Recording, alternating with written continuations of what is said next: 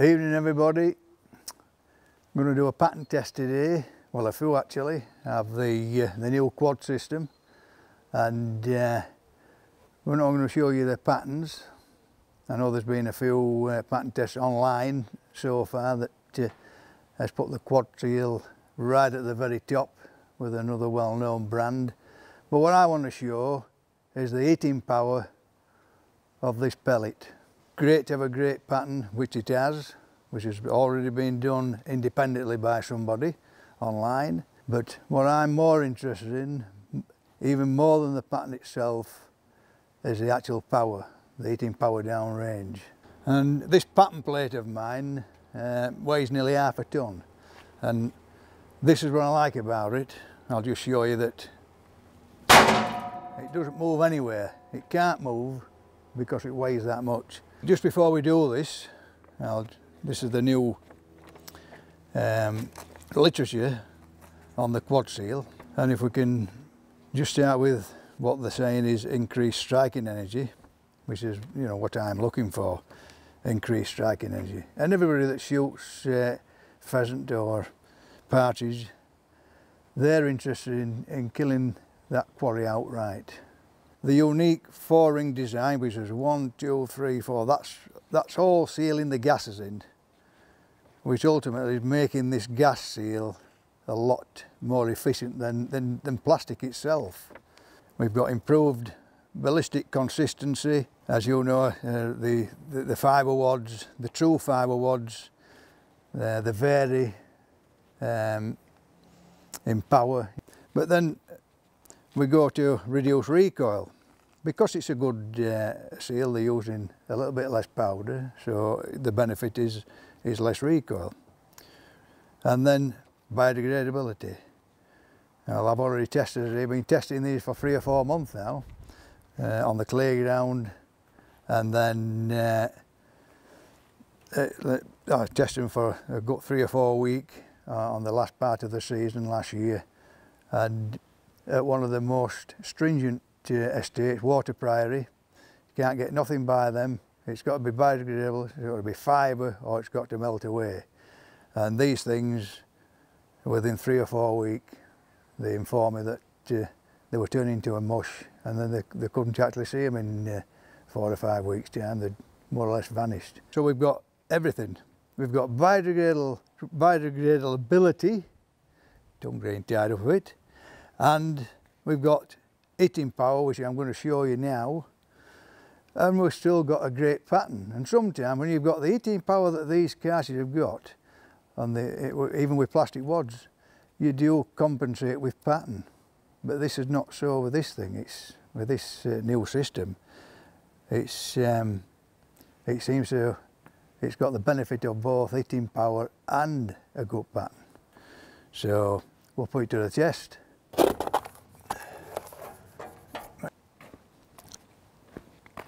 Right, we're at our normal uh, testing uh, distance.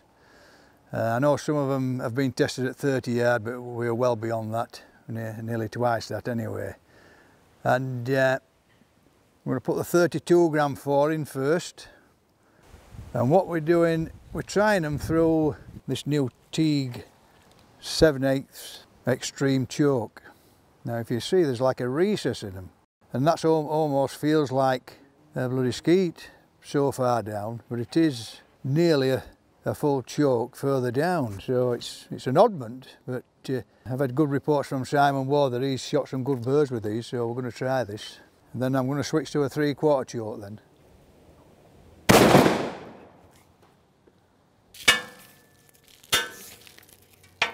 That's the 32 gram four and uh, as you can see they're smoking.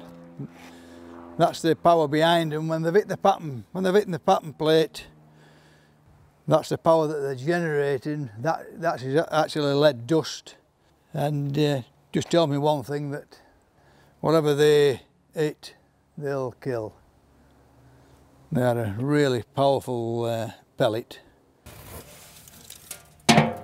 It's actually ripped the cardboard at the back as well but that's what's left of the pellets nothing if you look at size of that, um, a lot of it's just shattered, just dust, pieces, just blown them apart, apart altogether.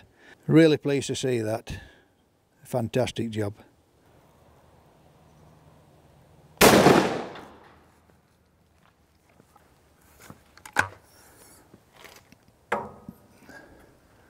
Nice even pattern and uh, same again, smoke again, absolute devastation, no messing about there. The, the, the shock on these pellets will be unreal, there's nothing going to survive those.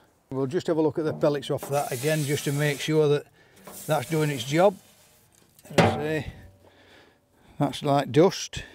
It's just what I call shit rags, pancake, nothing left of it at all quicker for me to uh, to just switch guns. I've switched guns with uh, with three quarter choke already in it, and we'll start off with the uh, the 34 gram uh, four.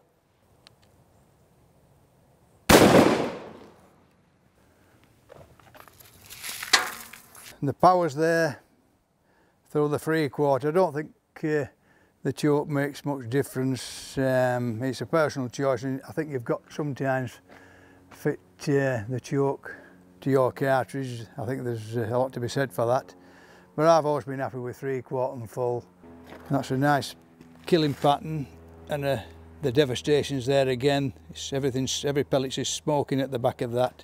You can see the dust on my, on my fingers there, but and nothing left of those. Exactly the same result as the, the 32 gram 4. We're going to do that next with the 3 quarter choke. Back to the 32 gram 4 through the 3 quarter choke. Just a, a variation in chokes, just want to see if, if anything's different. I'll just say something about the uh, the uh, recoil. That's very very reasonable recoil. I mean, there's a noticeable I just shot a pigeon about 50 yard away with the, the 32 gram 4 so you can see that they don't mess about. Well just as I suspected you can hear probably hear the, the bits dropping and it is just bits. And I did, I did shoot a little bit high with that. But I did, although I shot high the pattern is high and the pattern's still dense so there's nothing wrong with those. Anything that any of them pellets touch is finished. So if anybody wants to inquire about these then just ring Gamebore, Game Boar headquarters. I'm sure they'll be able to advise on the shops that are stocking them now. But my advice is ring uh, ASAP because they are selling up pretty quick now and that's without you know any serious advertising with them. Thank you and we'll catch you next time.